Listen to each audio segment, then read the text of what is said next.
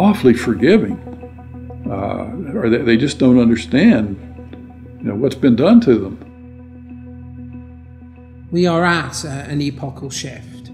Uh, we're at a point where the West could tip into complacent and quite well off redundancy, or we could play a decisive role in the future. What the banks did was reprehensible. That was why there was the outrage at the greed of the bankers when we gave them money that was supposed to uh, help them lend to others, but they decided to use that money to pay themselves bonuses. For what? For record losses? We are governed by corporations today, often by corporations that don't have very much interest in the United States of America. I don't know what happened, man. What happened to the United States? It went so far in the ditch. You know what? At what moment did it all go bad? Was it disco? Was it was it Donna Summer? Is that what killed America?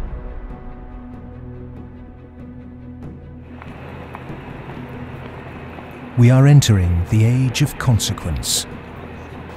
A rapacious financial system, escalating organized violence, abject poverty for billions, and the looming environmental fallout are all converging at a time when governments, religion, and mainstream economists have stalled. War, conquest, famine, and death. The Four Horsemen are coming.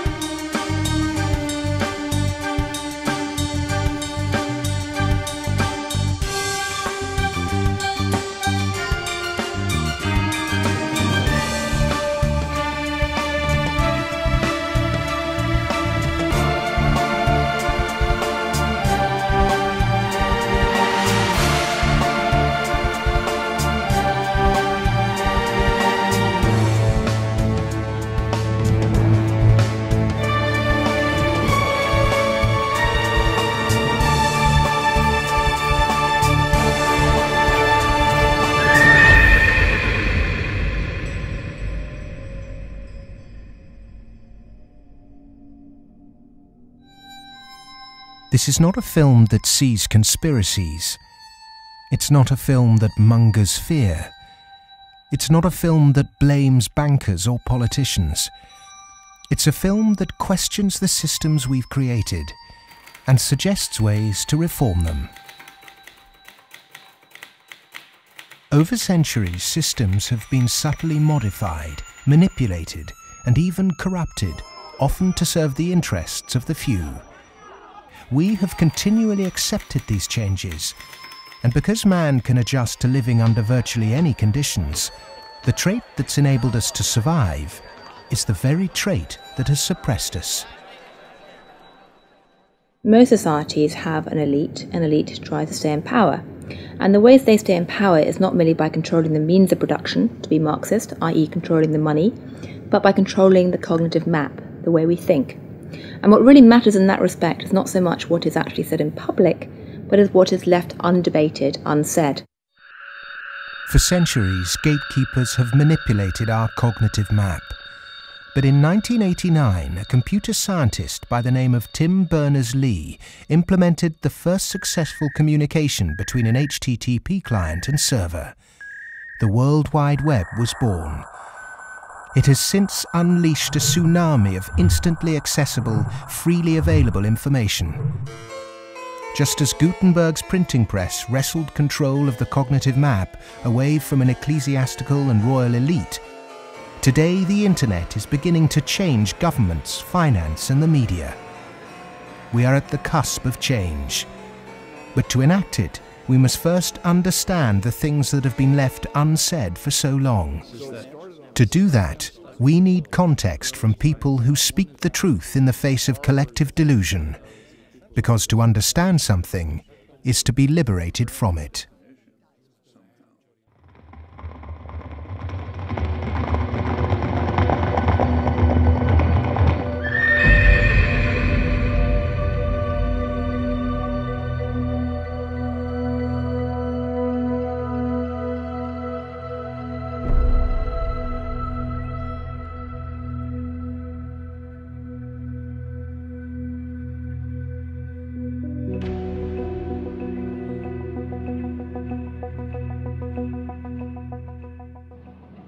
End of World War II, we had 50% of the world's gross domestic product. We were making 54,000 airplanes a year, 7,000 ships, et cetera, et cetera. And we were the new Rome.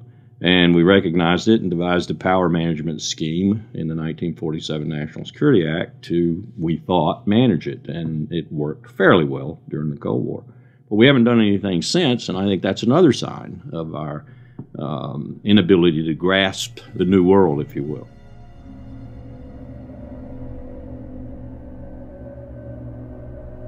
Empires do not begin or end on a certain date, but they do end, and the West has not yet come to terms with its fading supremacy. At the end of every empire, under the guise of renewal, tribes, armies, and organizations appear and devour the heritage of the former superpower, often from within. In his essay, The Fate of Empires, the soldier, diplomat, and traveller Lieutenant General Sir John Glubb analysed the life cycle of empires. He found remarkable similarities between them all. An empire lasts about 250 years, or 10 generations, from the early pioneers to the final conspicuous consumers who become a burden on the state. Six ages defined the lifespan of an empire. The age of pioneers, the age of conquests, the age of commerce, the age of affluence, the age of intellect, ending with bread and circuses in the age of decadence. There are common features to every age of decadence. An undisciplined, overextended military, the conspicuous display of wealth, a massive disparity between rich and poor, a desire to live off a bloated state, and an obsession with sex.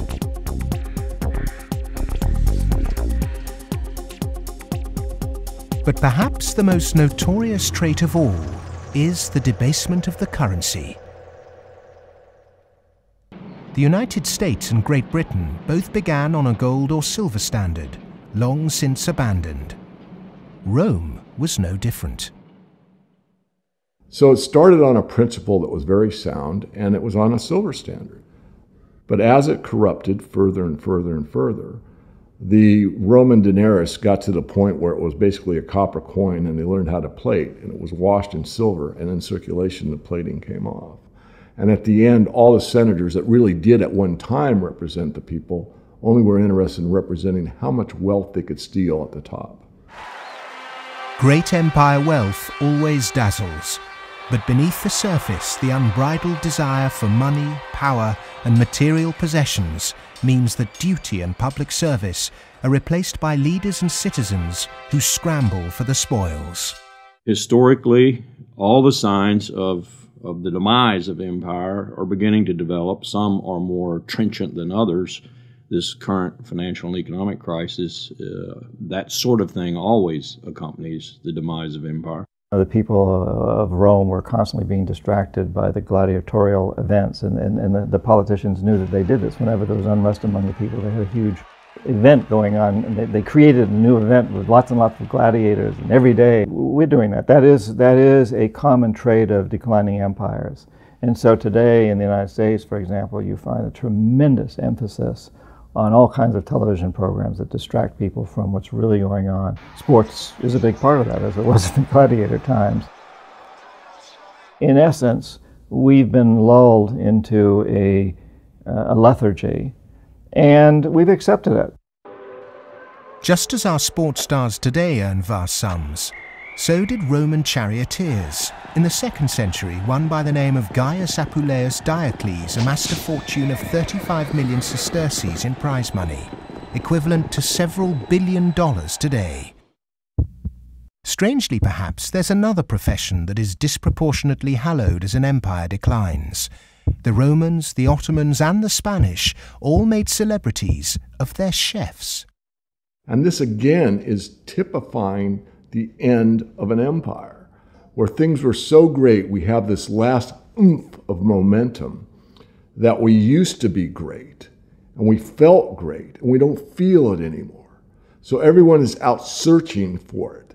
Well, maybe it's in the best food or the best clothes or the best music or the best movies or a reality TV show or another magazine.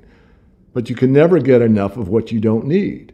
What you need is a strong moral conviction that is pervasive throughout the society and integrity reigns. There's a vast apathy. There's a vast amoralism even a political nature to it. That is to say, there are vast numbers of people who don't give a damn, and so there's this this uh, natural, I suppose, entropy. Any living organism, which an empire is, of course, um, over time dies. Um, question is, how does it die? Does it die in a violent cascade of events, or does it die over a long period of time? The baby boomer generation were born into this age of decadence. Perhaps unwittingly, they've broken the unspoken intergenerational contract. Through unfettered consumerism, spiraling house prices, and a desire for eternal youth, the baby boomers have squandered future generations' inheritance. My generation, the generation right after my generation, um, I think we forgot that little phrase in the preamble to our Constitution, which says, and our posterity. All of a sudden, it became us, period. The baby boom generation, which I'm a part of, has gone and done the biggest misallocation of capital in the history of mankind. We have had cheap oil, or cheap energy is a better way to phrase it. We've had an abundance of ideas, and we have chosen a system and perpetuated it that is probably one of the worst ways to use the blessings that were bestowed upon us. And we are going to pay a price for that. Human beings are inconsistent and paradoxical. We hope for peace and immortality, but continually invent new ways to destroy each other. We're capable of the kindest, most noble acts and the most horrific atrocities. Human beings are complex creatures. I mean, for example, we're capable right now, at this minute, of uh, acting in such a way as to make it likely, if not certain, that our grandchildren are going to face terrible disasters. And we're consciously acting to accelerate that likelihood, even though we all love our grandchildren. How can you be more contradictory than that? in spite of all the um, economic activities of last uh, uh, 50, 60, 70 years since the world, Second World War and all the industrialization, uh, we have not yet managed to solve the problem of poverty, deprivation, hunger, malnutrition. Um, millions of people every night go to bed without food. And uh, millions of people are throwing away their food. Waste on the one hand, and poverty and deprivation and hunger on the other hand. Uh, uh, malnutrition on the one hand, and obesity on the other hand. What kind of system have we created? Why, with such brilliant knowledge on the planet, are we still struggling to distribute wealth fairly? How has the human race developed a flawed system of government and economics that serves the few at the expense of the many? And with such poverty in an age of plenty, why have we not had the will to change such a vicious social structure? Greed is the fundamental uh, kind of ingredients for the immoral economy. Become, um, the problem is not uh, that uh, there is not enough in the world.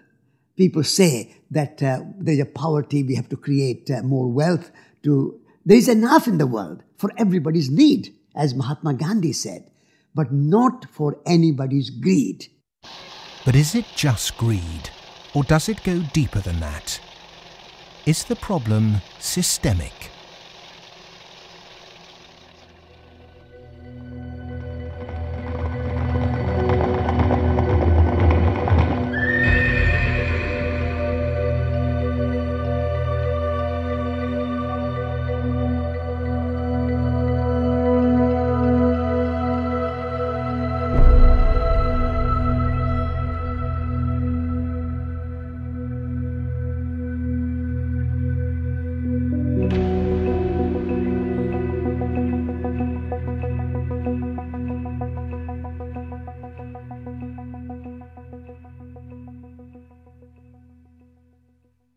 As a civilization, we've obviously we've obviously had a had a great run.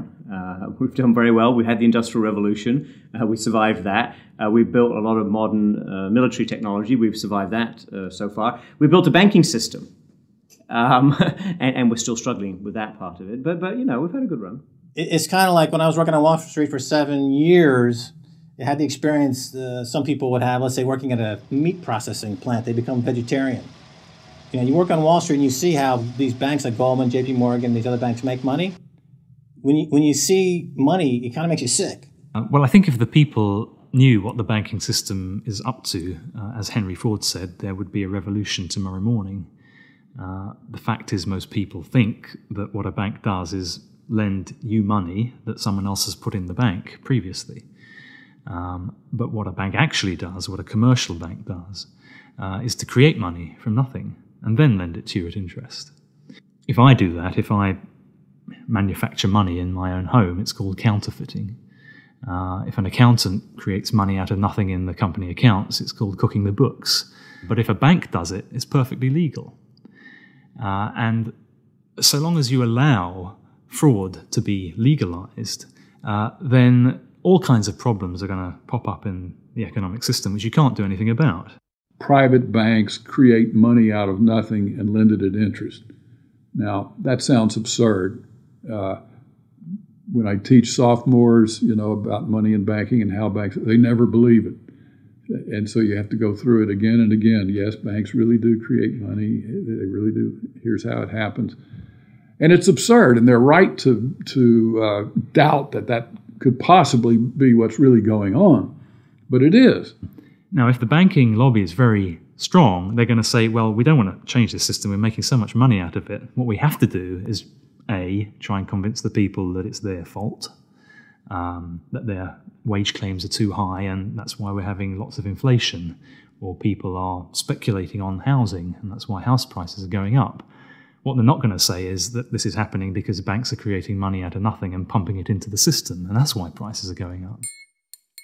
But how is it that we've ended up with a system in which banks have the power to create money? Since 1971, when President Nixon took the United States off what was left of the gold standard, the world has operated under a system of money known as fiat. The dollar, the pound, the euro are all government fiat currencies. Fiat is a Latin word meaning let it be so. It is the law that this government currency be money. Indeed, without that legal enforcement and the fact that we must pay taxes with this money, that dollar bill or that computer digit that represents a dollar would be pretty much meaningless. Only the government has the power to issue fiat money, but banks can create it through lending. Over the last 40 years, since this system of fiat money became the global norm, the supply of money has grown exponentially in fact, we've seen the greatest growth in the supply of money in history. But who benefits? Of course, those that have the power to issue money, governments and banks. Then, those companies and individuals that get this money early. They can spend it before the prices of the things they want to buy have risen to reflect the new money in circulation.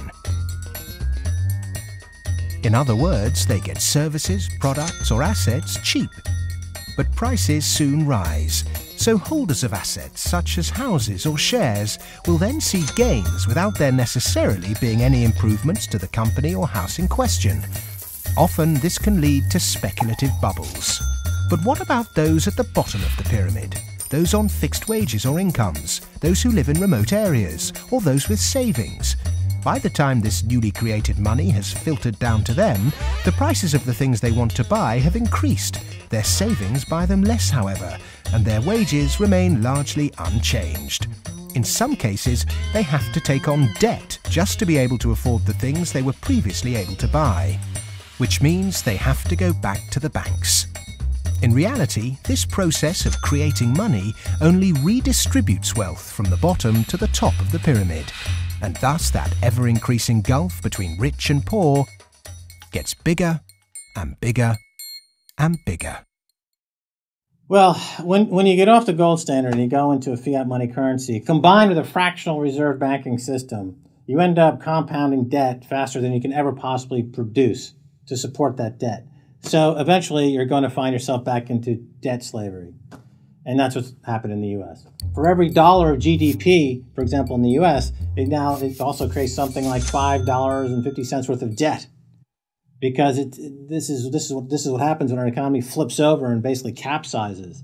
And of course, the government solution now to, uh, to, to address all the problems is basically to create more debt. You can never get enough of a currency that doesn't work.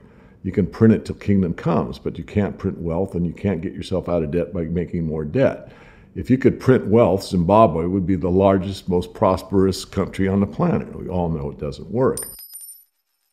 Of the money in the world today, 97% of it is debt. The French philosopher Voltaire once said, all paper money eventually returns to its intrinsic value, zero. For three generations, the world watched the fight between capitalism and communism. But in the 1980s, the Russian economy started to collapse. The Soviet Union capitulated, and so-called capitalism reigned supreme.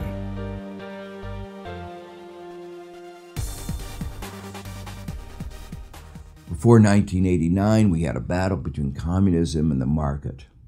And in that battle, there was a sense of let's not expose the flaws in the market economy. This is too important of a battle that you don't criticize our team while we're fighting their team. And their team, associated with authoritarianism, uh, with a failure to deliver well being to their society, it was very clear that if you had to choose between these two, which was better? Communism failed first for various reasons.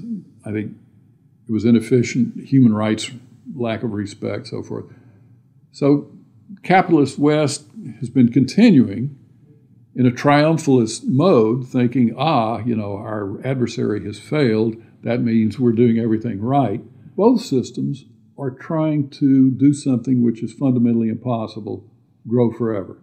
And they're both going to fail.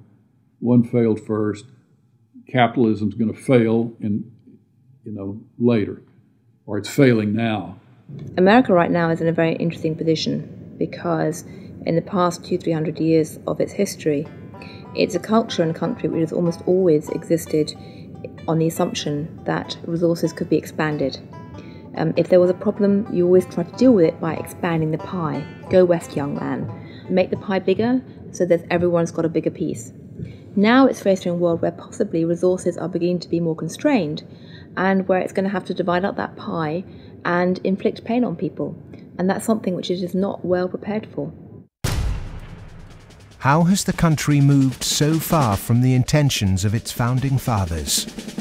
How has the American dream become so distorted? Over the last 30 or 40 years, capitalism has taken this extreme form and a lot of it goes back to the economist Milton Friedman from the Chicago School and Ronald Reagan and Margaret Thatcher and, and others buying into these policies that really eh, encourage people to take on huge amounts of debt, encourage privatization, uh, smaller government supposedly, although bigger military, so, so actually the government spending goes up. Deregulation. getting rid of rules that govern the people who run our institutions, especially our corporations. It's as though we suddenly are supposed to believe that the human beings who sit at the top of corporations uh, don't need to be regulated. They're some sort of gods. Milton Friedman, his proteges the Chicago Boys, and the neoclassical ideology beat the classical approach to economics and became the framework for what we today call capitalism. There are two main competing economic approaches which determine how we humans manage the world and distribute wealth. These are the classical and neoclassical schools. The classical school favours less government interference, more personal autonomy, and recognises that humans cannot function without natural resources. The neoclassical school, which has a more dismissive view of natural resources, thinks government should rule the economy, solve social problems, and leave the free market to look after the distribution of wealth. The neoclassical school emerged around 100 years ago due to vested interests' desire to protect their assets. This meant that neoclassical mathematical models and assumptions were divorced from reality. They're based on what ought to be, instead of the classical models which are based on what actually is. It's these neoclassical models, which favour large corporations, that have been used to legitimize the financialisation of the global economy. Championed by Ronald Reagan and Margaret Thatcher, neoclassical economics still dominates policy making today. The uh, Reagan Revolution, as we call it in the United States, obviously the Reagan Thatcher Revolution, if you think about it more globally, was a big change in power structure and a big transfer of opportunity and wealth uh, now it wasn't. It's not. It's not that the poor gave it to the rich. It was a transfer within the well-to-do. So the financial sector, in particular, in the United States, for example, but also in the UK and some other places, became vastly more profitable. And sa- wages in, in that sector went up a lot. I mean, we focus on bonuses, but it's also base salaries went up a lot, overall compensation. So there's a transfer from the non financial part of the economy to the financial part of the economy that actually is unprecedented as far as we can see in, in any of the available data to us. And I'm talking about all of recorded human history. In 1932, in the aftermath of America's great stock market crash, a piece of legislation was passed to protect society. The Glass-Steagall Act was introduced to separate ordinary high street banking from investment banking. 67 years later, in 1999, under the influence of Treasury Secretary Larry Summers and his predecessor Robert Rubin, President Bill Clinton repealed the Glass-Steagall Act. Once again, banks could take ordinary depositors' money and speculate with it on virtually anything they liked. Wall Street is has become a very particular uh, type of casino. Uh, and it's unfortunately not the kind of casino uh, they have in Las Vegas, which is, you know, perfectly legitimate form of entertainment. Uh, it, it is a casino that has massive negative repercussions on the rest of society. So it's not just losing your money on a few wild nights, it's about the way in which those organizations lose their money, impacting the whole of society, uh, leading to a massive loss of jobs. This unfettered gambling pushed the entire global financial system to near collapse with balances and debt obligations larger than the GDP of entire countries, the banks had become too big to fail. The West was unprepared, and bankers met their reeling and disorientated governments. You have to bail us out. We need money. If you don't give us the money, the whole thing goes down. And what are you going to do with millions and tens of millions of people who have lost everything in their bank account? You you will have a revolution on your hands. So fork over the money. Borrow, borrow the money, create it out of nothing, and give it back to and give it to us, and and and so that we can face our our problems and uh, not go under, and or otherwise. And this is what uh, Mr. Hank Paulson did in the U.S. Congress. He went there one day and he told them, "Well, look, we need 700 billion, and we need it now, or else. Is this system we call capitalism really capitalism? In a capitalist system, government is supposed to be small, but today, the state is more bloated and invasive than it's ever been. Individuals and companies are supposed to operate in a free market. Good enterprise is rewarded with profit, and flawed enterprise with failure. But during the 2008 banking crisis, the people saw the Western economic system divided in a way they were told could never happen. Socialism for the rich, capitalism for the poor. And in America, for example, the banks that got in trouble got bailed out by the government. That's socialism. And they people are arguing against socialism in America, and yet it's probably the most socialist country in the world right now. Uh, we have a system which isn't even a proper capitalist system. Uh, rich people make mistakes that they don't get punished. Uh, poor people make mistakes that they get punished. Yeah? Or even worse, that they don't make any mistake and they are forced to yeah, that uh, pay for the mistakes of the rich. When the taxpayer is footing the bill for the misplaced speculation of bankers, then suddenly, instead of the economy serving the human being, the human being is now in perpetual service to amoral financial organizations.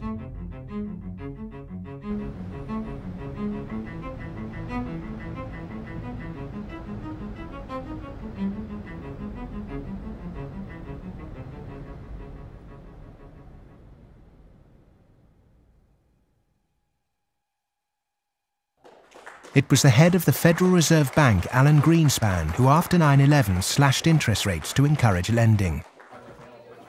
Bankers needed new participants to keep cash flowing into a system that had become a global pyramid scheme. All this newly created money entered the housing market and created unprecedented inflation. House prices rose and rose, new mothers were forced back into the workplace to service huge home loans, and the Anglo American dream became all about land speculation. The housing market in the West isn't about ownership. The housing market in the West, because it's the only way ordinary people can get ahead, and ordinary people can't get ahead but by wages, what we've created is a mass bubble economics around housing. As that sucks in a huge amount of capital, takes capital for genuine innovations in the economy, and puts it into a speculative use that has no genuine productive outcome. It's interesting if you talk to people in Germany, for example, they don't see a connection between owning a piece of property and, and being inclined to be, towards being democratic. There's lots of people who rent their housing there and they're perfectly comfortable with that arrangement. But it is true that in somewhat different contexts, both Mr. Reagan and Mrs. Thatcher pushed for more people to own housing. And actually, this is part of the problem because if you push people to buy housing before they're ready, and if, so if, you, if you push very dubious loans on them and they don't understand what they get themselves into, you can have huge adverse repercussions, exactly what led to, in part, the subprime housing crisis in the United States. Uh, that's not anything to do with democracy, that's just a bad economic idea. The breakthrough that occurred around the year uh, 2000 in the United States was when bankers found out that the poor are honest. And uh, they realized that if you're poor, if you're not rich, uh, you have a different set of values. And you think that a debt is a debt and it's something that has to be paid, and the people will try to pay the debts that they're stuck with, even if the debts are not valid, even if the debts uh, are much more than they expected, even if they really can't pay the debts. The lending and banking institutions, uh, when they drew up contracts with interest rates, with flexible interest rates, I think they knew in the beginning that these problems were going to come back later on where folks weren't going to be able to afford the mortgages as the interest rates increased. It put a lot of people in situations where they were taking food out of refrigerators, taking kids out of higher education. They're not able to afford college anymore. And it is making a really, really bad situation worse. The banks engaged in what was a criminal conspiracy to charge more to the blacks and Hispanics the banks got together, backed the Bush administration to block the state prosecutions of uh, racial lending in order to exploit and charge more to the minorities. These are loans which were made by one of the major lenders in the city and in this country, Wells Fargo, in which Wells Fargo targeted minority communities in the city, uh, put borrowers into loans that they could not afford put borrowers into loans um, that, that were of the subprime variety, therefore more expensive and less advantageous to the borrowers. Hiding predatory lending practices in the small print of complex financial products was only ever going to enrich one set of interests. Many of the communities in which African Americans live in the city were establishing momentum. There was development activity that was occurring. We were seeing signs of vitality in many of these communities, and the results of the Wells Fargo foreclosures and the subprime lending practices of that lender and others um, has significantly impaired that progress and, and brought it to a halt. They're not worrying about, they don't they don't come in the heart of it. Like you in the heart of it, so you see. They don't really see the struggle if they don't come in the heart of it. They see the outside of it. That's like looking at the cover of a book and seeing the outside of the seeing the outside of a book. But if you don't go inside the book, then you'll never know what the book about. So they're not worrying about nobody else but themselves. And I think it's wrong because if they come in the heart of it and they see it, they'll be willing to help. What happened in Baltimore is just one example of what is happening all around the world. One way to frame this injustice is by branding it a race issue. But when we look really closely, we can see that there is something at play here that transcends race profit. Not an accident, for instance, that we had the deregulation in our financial industry that was such a disaster. Uh, the lobbyists of the finance industry amount to five per congressperson. In other words, they pay, pay five people for every congressman to explain to them, persuade them that they should pass legislation that is favorable to the financial industry. The poor people who are devastated don't have the money. They couldn't hire five per congressman. So the way our, our democracy works, it's an unlevel playing field the financial sector has acquired enormous power, partly through political contributions, so buying favors, but mostly through ideological control, convincing people that finance is good, more finance is better, and unregulated finance without limit is best. And, and that is really the, the cornerstone of this, what we call in the United States, the Wall Street Washington corridor. I mean, if people need any proof as to who's controlling Washington, when the bailout came after Lehman Brothers collapsed, 80% of the population was against the bailout. Notwithstanding that, the uh, Congress passed the bailout, just showing, in my view anyway, that it's really under the control of banking interests. It's not a reflection of good democracy when a company, a group of companies, an industry, says uh, our interests are more important than the national interest. How can that happen? Very easy. That's the role of campaign contributions, lobbying in America's political structure. Uh, we have a flawed democracy.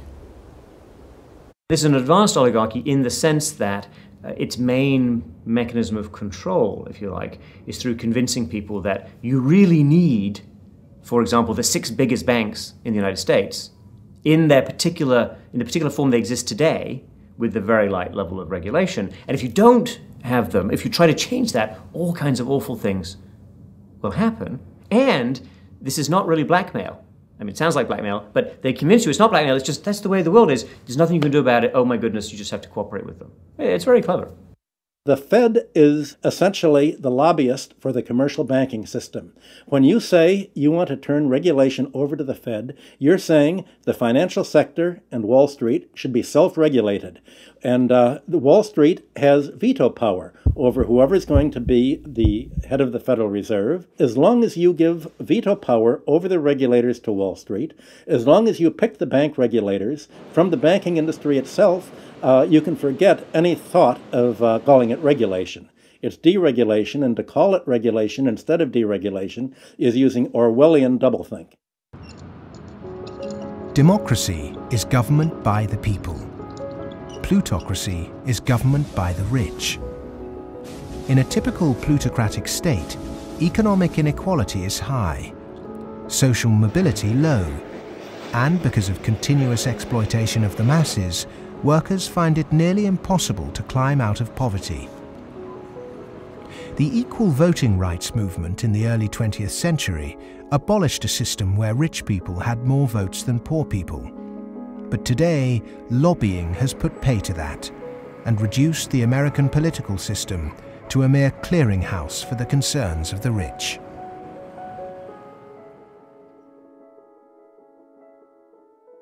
The Goldman Sachs machine is one of using profits to buy influence in Washington to change laws to make it easier to make money on Wall Street to be used to buy influence in Washington.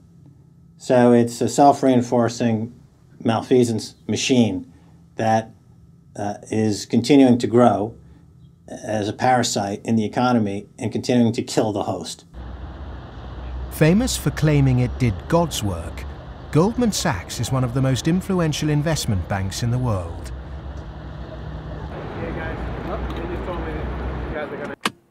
Its alumni often occupy positions of great influence in governments and central banks. In September 2008, barely a month before the stock market crash, Goldman, supposedly a pillar of the free market, changed its banking status from investment to commercial. This meant it was now eligible for state protection. Socialism for the rich, right there. Goldman Sachs are extremely efficient at what they do. Their task is to make money. Uh, they make bank robbers like Willie Sutton look like modest amateurs. Uh, they're huge bank robbers, but it's legal. The system is set up so that they can do it. In the recent years, they've been selling securities put together from mortgages that they knew were worthless.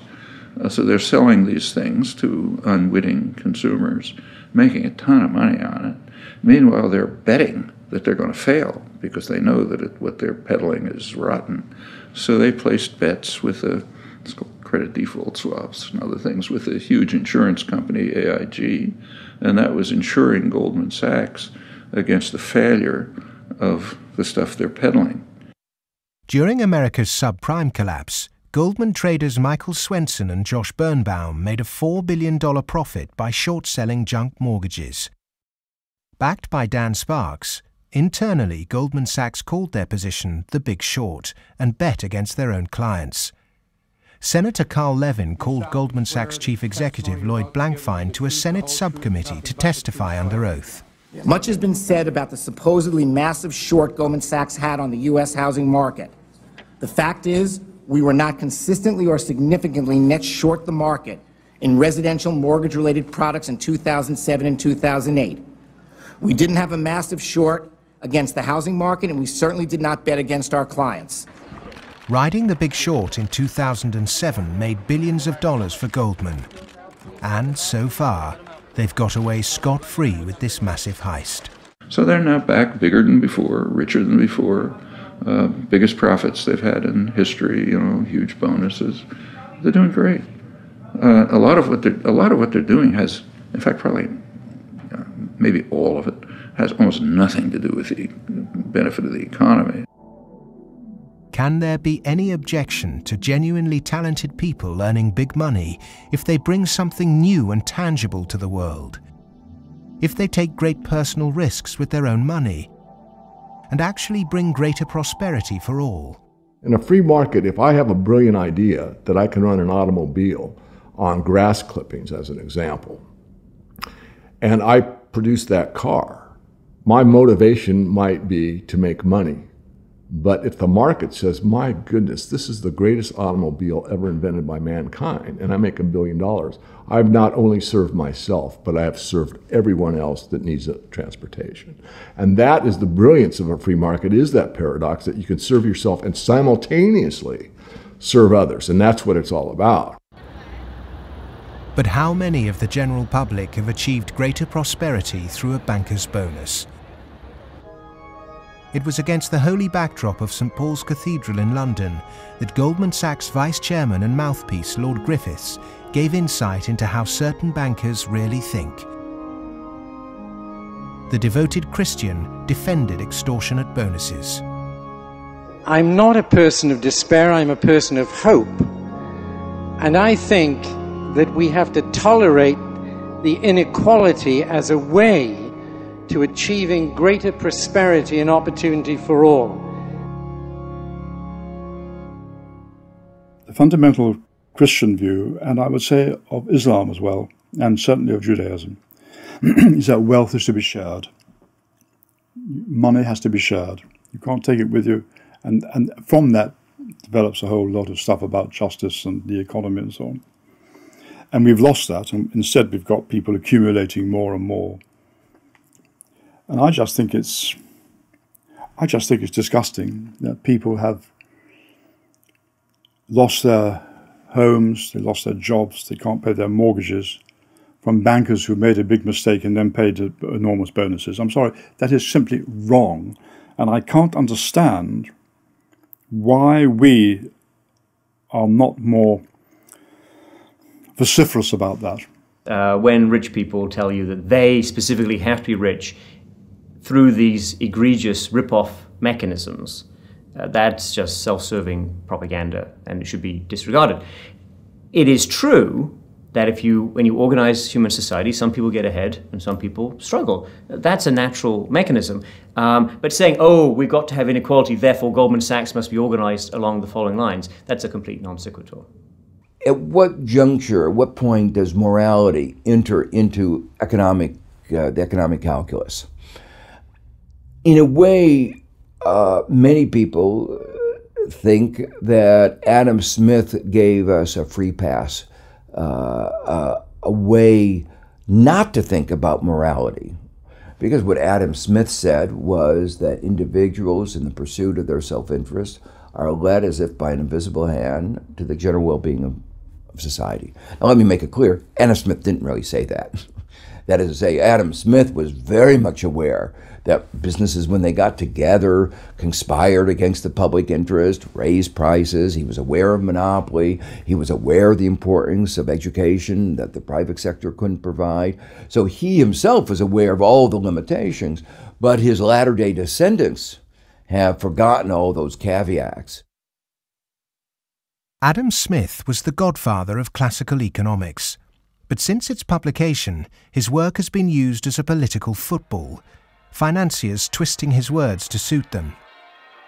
Lord Griffiths advocates ruthless individualism to push this idea that if bankers get rich, then we get rich too, through a process known as trickle-down economics, or horse and sparrow theory. If you feed the horse enough oats, some will pass through to the road for the sparrows, the idea is that extreme wealth concentrated on a small minority will eventually trickle down to everyone else. But it doesn't work. Because by the time the money reaches the people at the bottom of our money pyramid, it's lost its purchasing power.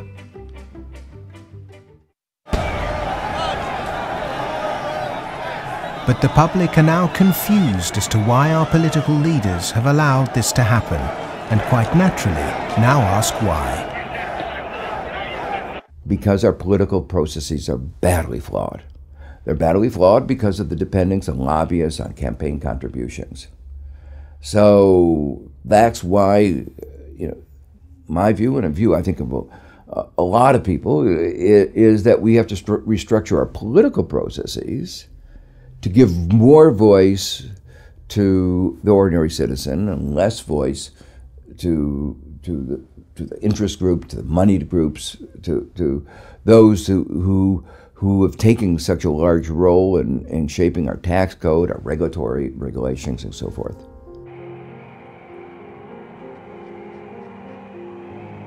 I stood on the front step of Colin Powell's house, and I look at him and say, "What, what, what next, boss?" And he said, "What do you mean?" And I said, what next? Where are you going next? I'm going to write my book. I said, no, I know, I know you're going to write your book, but you're not going to do that for the rest of your life. Where are you going next? He said, maybe a cabinet position, but first, but first, money. I said, money? He said, yeah, millions. That's the only way you can be a cabinet officer in the American government. Oh, wow. The Democrats and the Republicans are beholden to corporate interests and until they become unbeholden to those corporate interests, we will never have a well governed republic.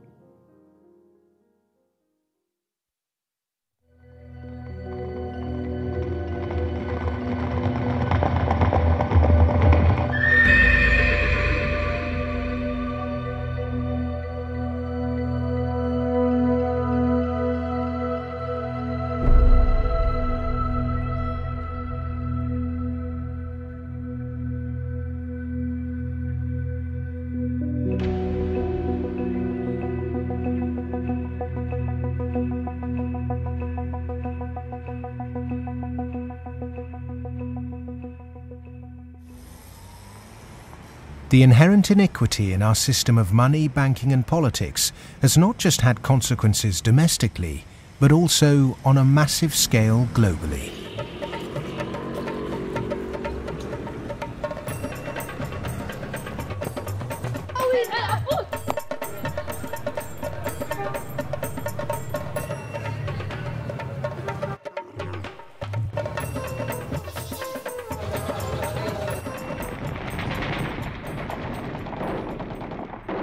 Western leaders have presented their military campaign in Iraq, Afghanistan and Pakistan as a moral obligation.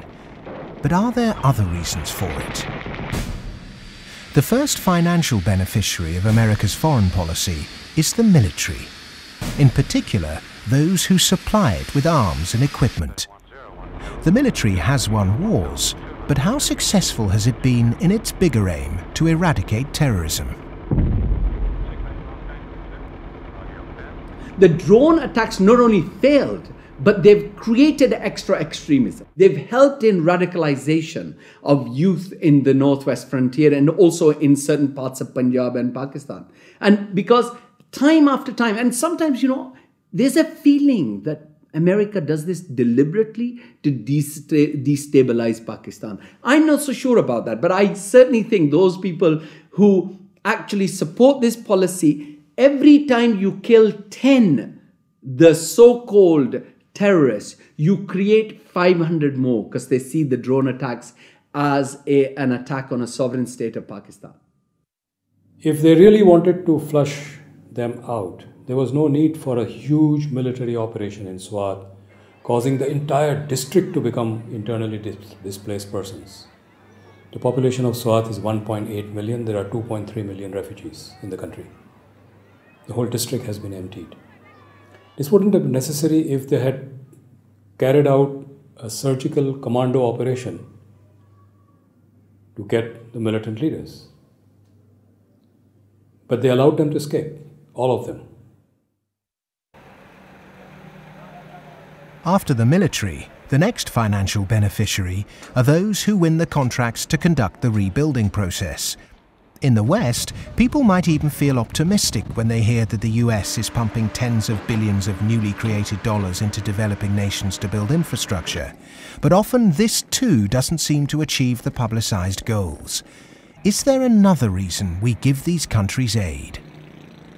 We economic hitmen have created the world's first truly global empire, and we've done it primarily without the military. We work many different ways but perhaps the most common is that we'll take a third world country that has resources our corporations covet, like oil, and then arrange a huge loan to that country from the World Bank or one of its sister organizations. However, the money never actually goes to the country. Instead, it goes to our own corporations to build infrastructure projects in that country power plants, highways, industrial parks, things that benefit a few wealthy families in that country as well as our corporations, but don't help the majority of the people at all. They're too poor to buy electricity or drive cars on the highways. They don't have the skills to get jobs in industrial parks. But they're left holding a huge debt. Infrastructure, which has used heavy loans from the World Bank and IMF and made from grants from uh, Western countries, they've all gone into benefiting the elite and the feudal classes uh, they have not benefited the people.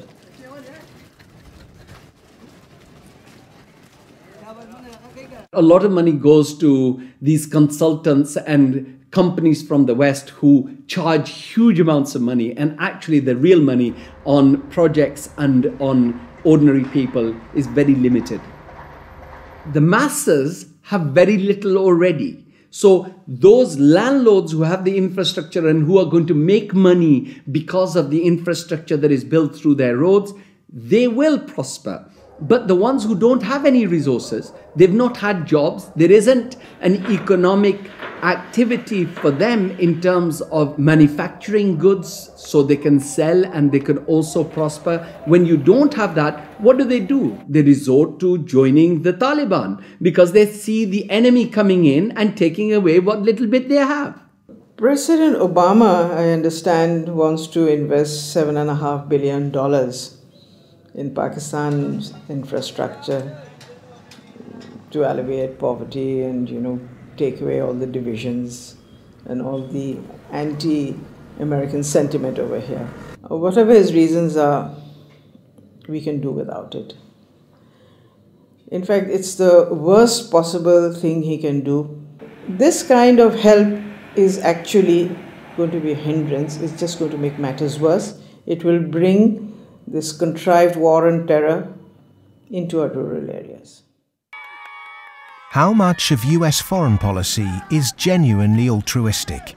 And how much is it influenced by the banks and corporations that profit so tremendously from it?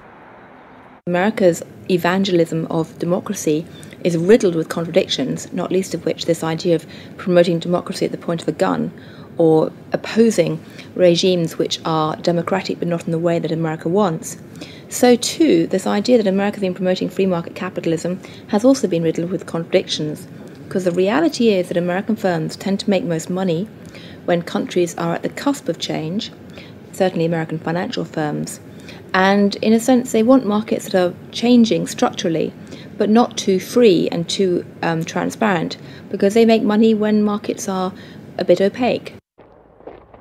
Is it any wonder developed nations are fighting in underdeveloped countries when so many are making so much money out of it, without ever really having to face up to or even witness the consequences of their actions? So, what if 5 million kids died in Africa because of debt last year? Uh, you know, I got a bonus of a million pounds, and if I have that conversation, I've had it with some uh, uh, bankers who've you know been in the business a long time, and um, they listen politely. They're very polite, very charming, and at the end they say, "Well, Tariq, it's lovely meeting you again," and they go back to the office and do another loan deal for Tanzania or something. I've known a lot of terrorists, quote unquote.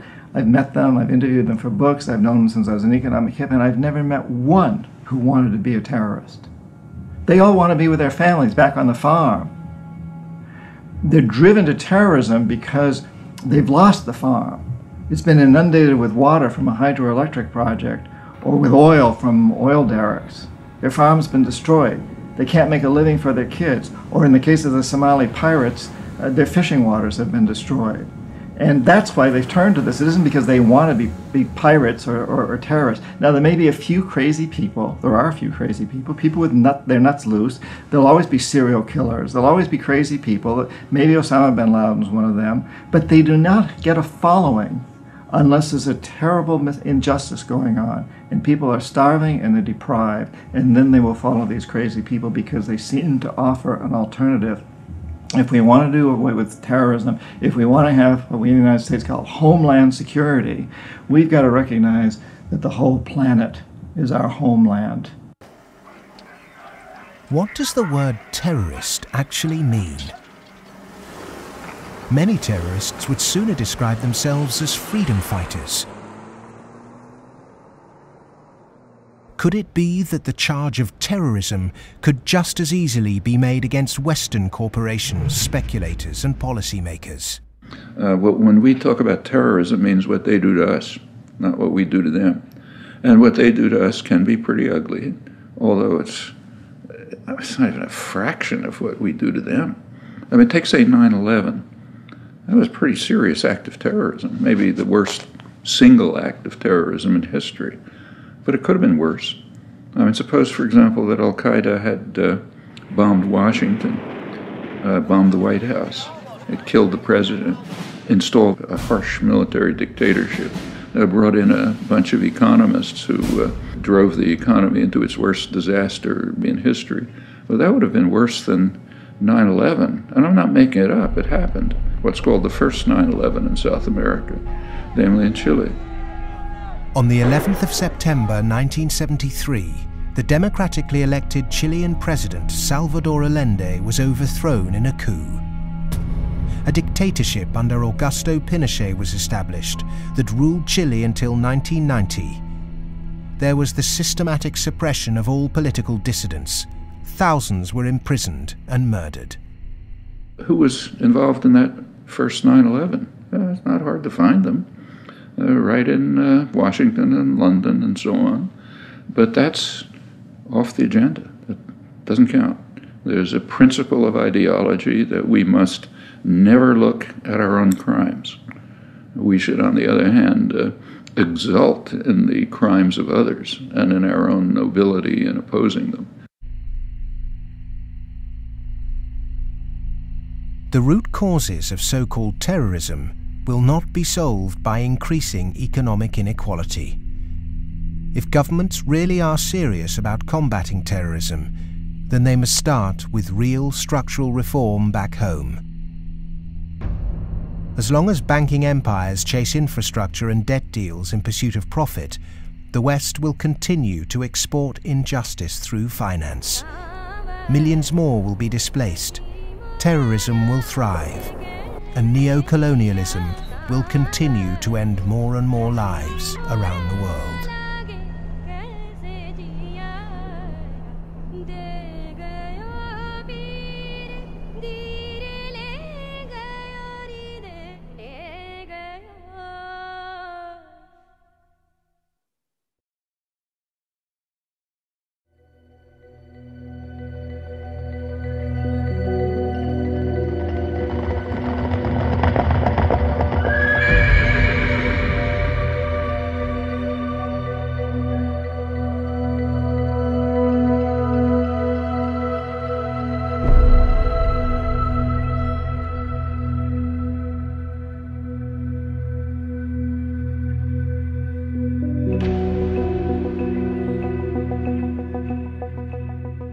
What's happened is that we have moved from a relatively empty world to a relatively full world. That is, empty of us and all of our stuff to now full of us and all of our stuff. In my lifetime, uh, the world population has tripled. And the populations of other things, of cars, houses, boats, uh, all these other things that put a load on the environment too, just like human bodies, uh, those have vastly more than tripled. So the world is very, very full of what we might call uh, man made capital. Uh, and it's becoming more and more empty of what used to be there, what we might call natural capital. We are the first generation, we in the rich developed world are the first generation to have got to the end of the real benefits of economic growth. For uh, hundreds of years, the best way of uh, raising the real quality of human life has been to raise material living standards.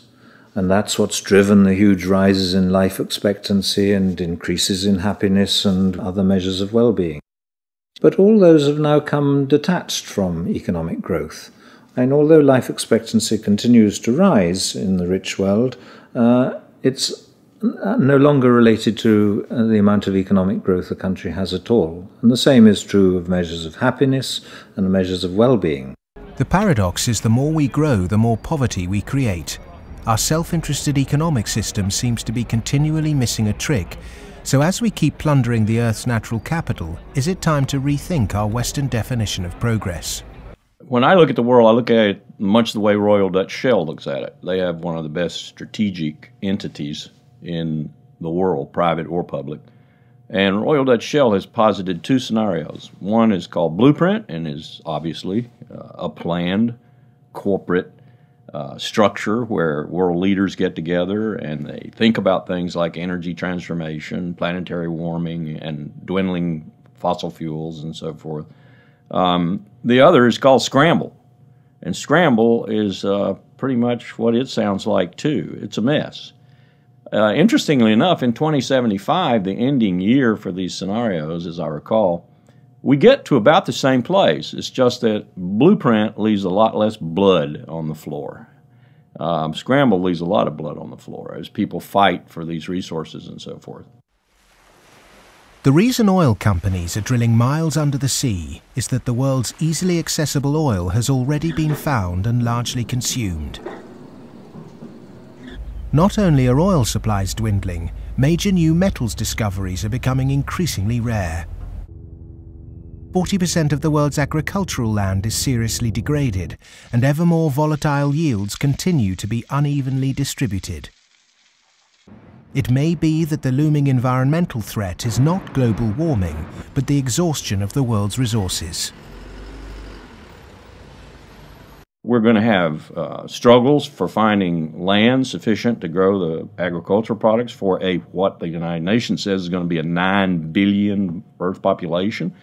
We're going to struggle over non renewable fossil fuels as they run out. I think Shell posits about 2075, they'll be gone.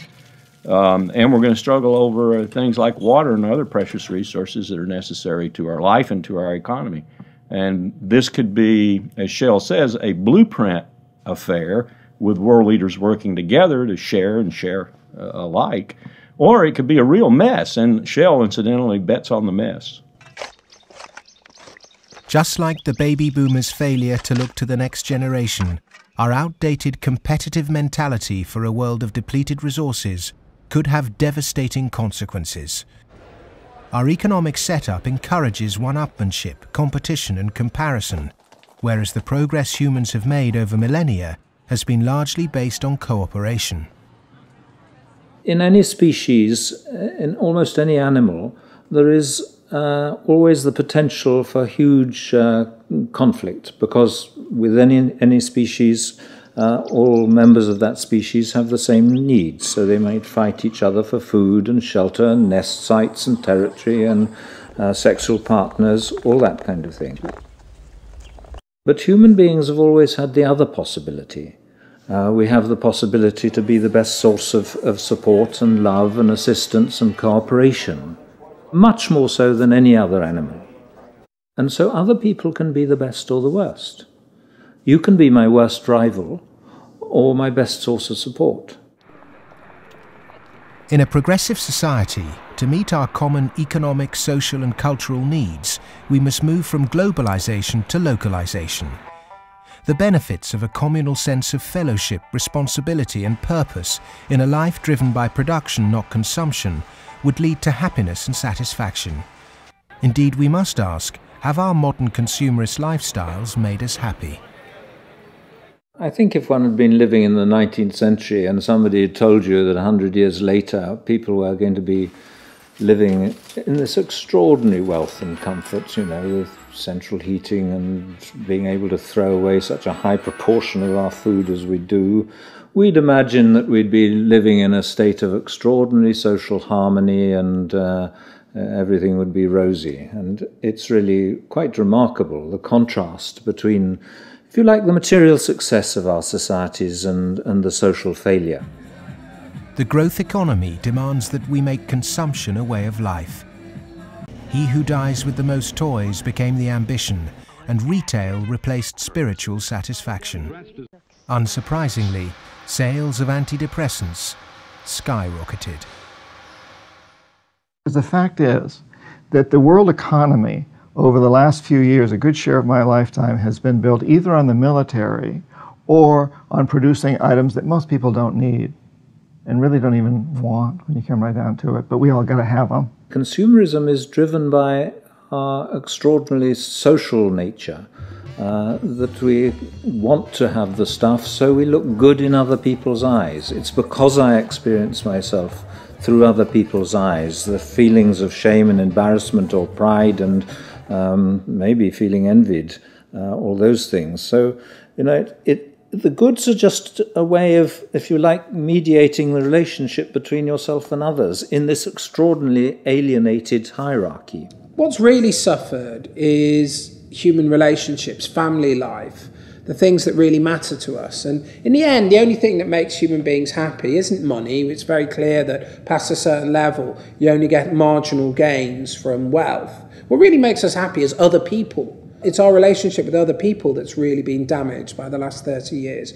We trust them less, we have less interaction with them, we bond less than ever before, we marry less, and marriage is under more threat than ever before. And all the associations that represent sort of permanent, unconditioned human affection are being eroded or damaged. And that's the real legacy of the last 30 years. And in some sense, we've got to recover and rehumanize our lives. Otherwise, not only will they be nasty, brutish, and short, but they'll be lonely. The West is coming to the realization that its human project is failing. The West was so convinced that if you push people to achieve as individuals, the accumulated achievement of individuals would make for a successful society.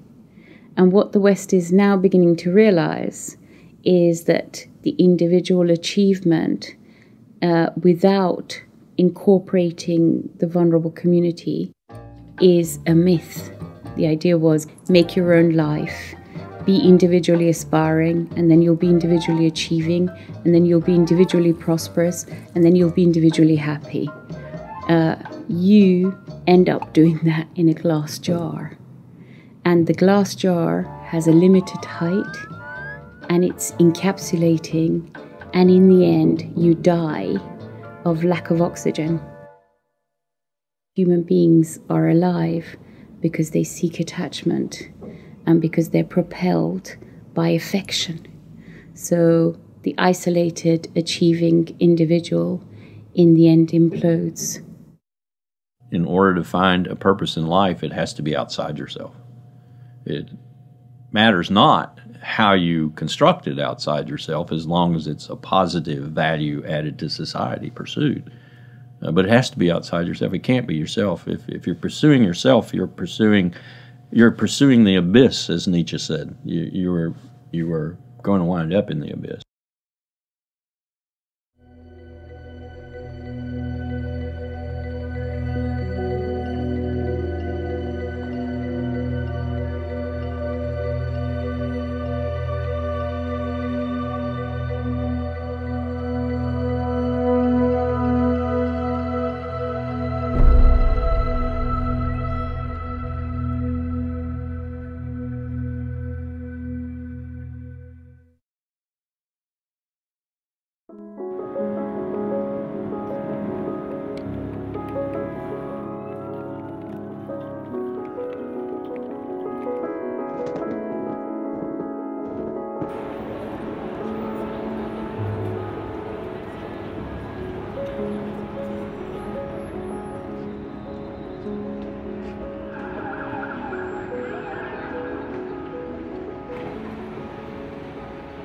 One of the most powerful um, cultural frameworks that shapes the way we think today in the West is the Hollywood film construction. And it follows a particular cultural pattern in that there is a beginning, there is a middle, and an end.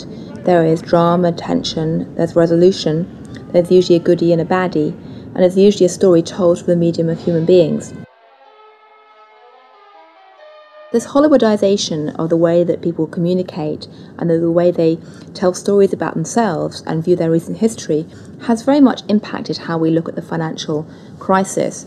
In that people look at the beginning, the middle, and the end. They look at the drama around Lehman Brothers and they wanted, say, a resolution, and they wanted baddies, they wanted sacrificial victims as well. So people have focused on a few individuals. And the idea that somehow it wasn't just one or two individuals who were at the root of the problem, it was a systemic problem that actually almost everyone who participated was in some way guilty, either of outright negligence or simply failing to ask the right questions or simply failing to ask why money was so cheap for so many years. The idea that it was a systemic flaw is something which is very hard for people to grasp and even harder to depict as a good story. Perhaps there is this feeling of helplessness because we don't understand what the real problem actually is. Cleansing a few bad apples will not rectify the flaws at the heart of the Western economic system. A system that should be protecting people is in fact the very thing that's enabling our four horsemen to ride with such vengeance. The modern day four horsemen. A rapacious financial system. Escalating organised violence abject poverty for billions, and the exhaustion of the Earth's resources, are riding roughshod over those who can least afford it. They gallop unchallenged because the cognitive map that's been put in place by our schools, universities, and our media does not encourage us to question accepted norms. Instead, there is apathy. In a sense, I think we're rather depressed societies. We've got used to the idea that there's nothing that can be done. There is no alternative. That, you know, we're never going to deal with these environmental problems and we live in a dog eat dog society and that's it. I think what we have to take away from this is a recognition that uh, most of these problems can be very substantially improved by making our societies more equal, reducing the income differences. Um, and that also helps us to solve the environmental problems. We can reach a society that is qualitatively better for all of us. Well, the apathy is sort of engineered because you don't have any discussion of this in the public media. Hardly by surprise, uh, the public media are owned by the real estate and the financial uh, interests, and uh, they're not going to explain to people the uh, uh, integration between the financial, insurance, and real estate sectors, the fire sector. There's this uh, disinformation going on, passing the buck, denying what the real driving factors are. Uh, all of these are common strategies. In fact, even in education, you can see that banks have helped to set up universities, they've funded them, uh, they fund think tanks, they have educational foundations, they own newspapers. Uh, all of this stuff is going on as a kind of propaganda exercise so that the people don't actually work out what the problem is. You should not assume because you know you don't have a background in economics or in law that this, these issues are somehow too complex for you. They're not complex at all. It's very simple. It's about power, uh, and it's it's about um, democracy, and uh, you understand that uh, just as well as I do. One source of this disinformation is the neoclassical school of economics. These economists and academics have been successful in convincing the world that their models were gospel. But just as Gutenberg's printing press was revolutionary in the 16th century, today we're at the dawn of internet enlightenment, which will remove the cloud of ignorance upheld by academic and media gatekeepers. Education can be a form of mass mind control, and it's astonishing that today neoclassical economics continues to be taught in all Ivy League universities.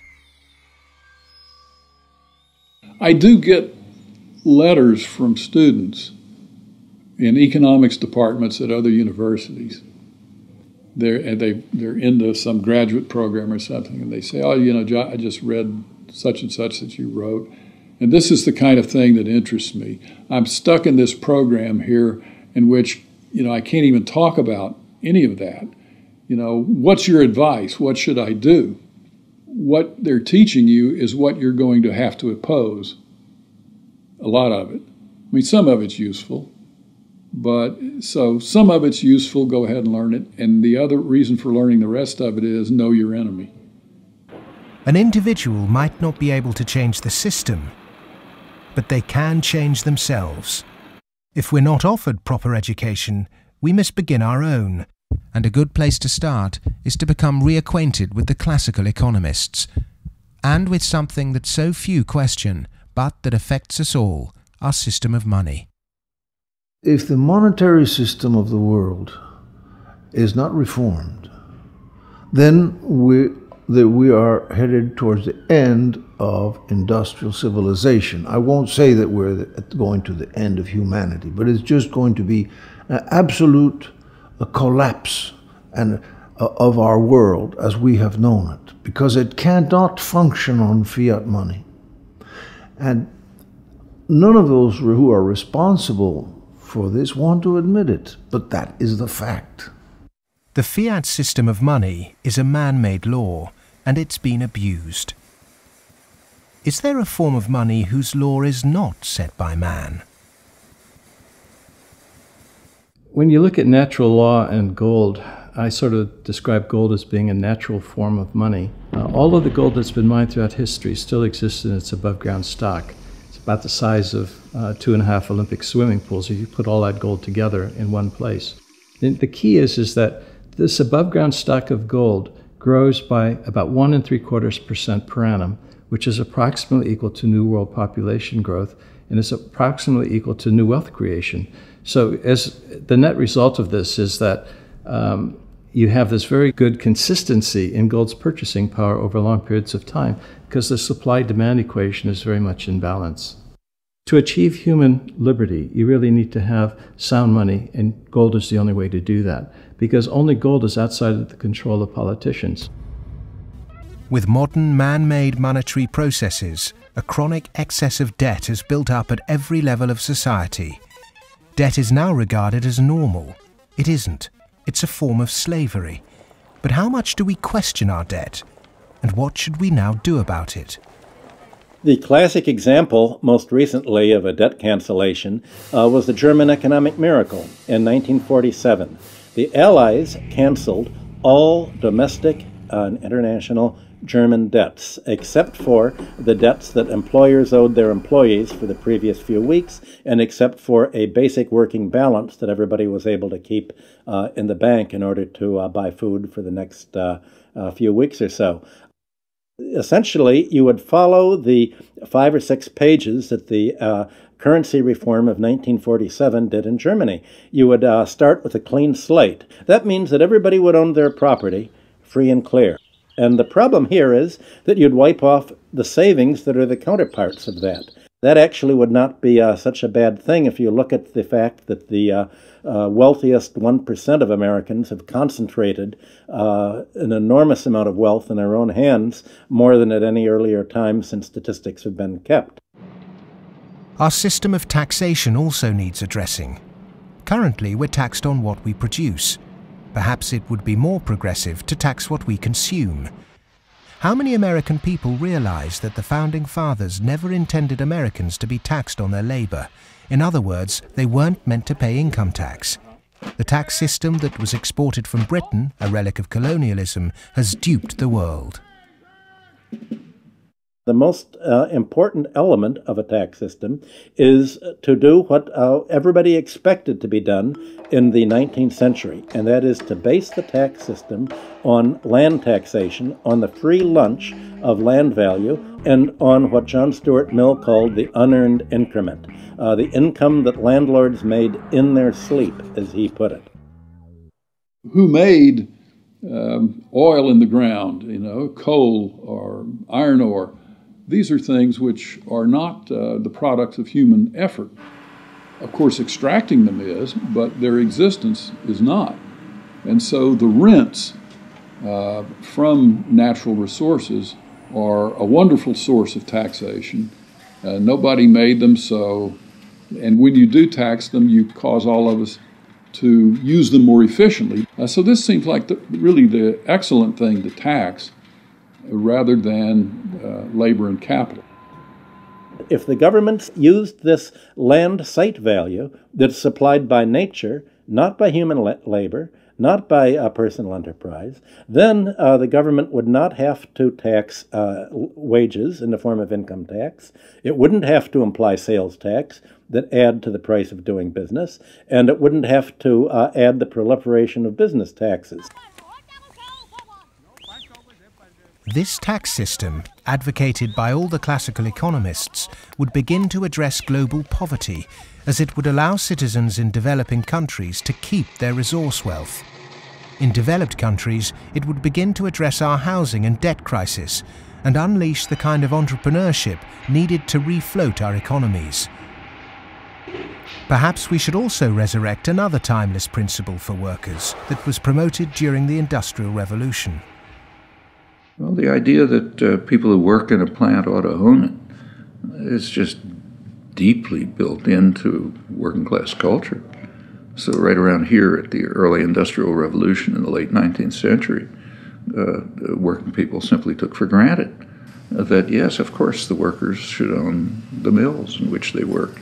Anything else is an attack on our fundamental rights as uh, free citizens. They also took for granted that wage labor is hardly different from slavery. It's uh, different only because it's temporary, and then you can be free. One of the ways you can be free is by owning your own uh, plants. That was not an exotic view. That was Abraham Lincoln's view. In fact, it was a, it was a principle of the Republican Party in the in the late 19th century. It's taken a lot of effort to drive those ideas out of people's heads, but they're still there, and they are very relevant. It was the Greek philosopher Plato who said the ratio of earnings between highest and lowest paid employee in any organisation should be no more than 6 to 1. In 1923, banker J.P. Morgan declared no more than 20 to 1 was optimum. Yet today's salary difference between top and bottom earners in global corporations can be higher than 500 or 1,000 to 1. When you're up in the range of 500 to 1 inequality, the rich and the poor become almost different species, no longer members of, of the same community. uh, commonality of interest is lost. And so it's, it's difficult to, to form community and to have good, friendly relationships across class differences that are that large. When the public do vent their outrage at inappropriate earnings, the common defence is to move the debate to the psychological realm and quote mercurial British economist Herbert Spencer. He coined the phrase survival of the fittest, and his words are now used to justify excess. Competition in business is a good thing, but the playing field must be level. Monopolists have too much because the system they game is rigged under the current economic setup, the fitness of the vast majority of the world's population is irrelevant. Those that are made to pay for this crisis are not those that caused it.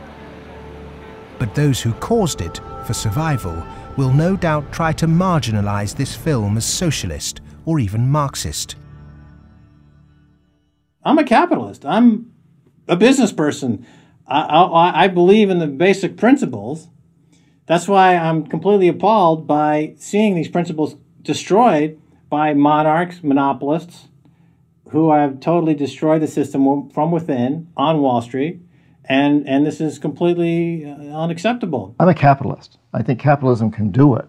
Uh, it's not a question of getting rid of capitalism, it's a question of getting rid of this terrible form of capitalism. Capitalism, more broadly understood as market economy, not only has a future, I can't see the future of the world without it. But the question is what kind of capitalism? What kind of market economy? A system of reformed capitalism built on independent money, a tax system based on consumption, not income, and employee owned businesses would begin to build an economy that's not dependent on constant growth to service its debt. We've endured the so called free market for centuries but far from being free, it's led us to destroy nature and each other in a vain attempt to progress. It's uh, absolutely ludicrous uh, to suggest that somehow there is a scientifically defined boundary of the market that we should uh, never change. Know? and, and of course, uh, that's uh, what the free market economy wants you to believe. Know? Because once that they convince you of that and claim that, on top of that, claim that they have the truth because they are, you know, PhDs in economics, then uh, they can uh, tell you whatever they want, yeah? and then you'll have to accept it. Yeah? But uh, that's uh, where we have to uh, take these guys on. Yeah? Politics is about drawing the boundary of the market. You know, I mean, when you think about it, a lot of things have been taken out of the market over the last two, three centuries. Two, three centuries ago, you could buy and sell human beings, child labor, a lot of things that uh, you wouldn't imagine you could uh, buy and sell today. So, I mean, over time, we have uh, redrawn this boundary, and there's nothing wrong with uh, redrawing the boundary again. Things that were considered absolutely reasonable in the 1850s, like selling any chemical on a street corner and telling you that it's a pharmaceutical drug that will make be good for you. Things like that that were absolutely commonplace then are now serious criminal offences. Well, the same thing will be true of active money management in 100 years. The breakdown we saw in the Great Depression and witnessed again at the beginning of the 21st century occurred because in the name of growth, much was taken out of the system by those who contribute very little. Multinational corporates and banks will always want to grow without having to compensate those people who actually do the work to produce the surplus. In the past, every time too much was taken by those who contributed little, people rose up to halt the violent practices enacted by a tangible enemy. Today, the question is, with such a formless enemy pervading every element of our economic and democratic process, can it be done again? Of course, it can be done again. Look, it's a cycle. I mean, it, it, we're not we're not uh, debt peons, but maybe rats running around a little a little wheel in, in some somebody's big uh, cage somewhere. Um, the finance rises. Finance rises finance becomes organized, you make a lot of money in banking. It's easy to go out and buy politicians. But the essence of democracy, the essence of American democracy, is this, this is a repeated confrontation, a repeated showdown. And in the 1830s, Andrew Jackson beat the second bank of the United States. In the early 1900s, Teddy Roosevelt beat J.P. Morgan and John D. Rockefeller. In the 1930s, Franklin Delano Roosevelt, FDR, beat everyone from Wall Street. And now we have to do it again. The one single thing that makes me optimistic rather than cynical, pessimistic, is my students. Um, first, I do not see the desire to go to Wall Street amongst them. I see the opposite.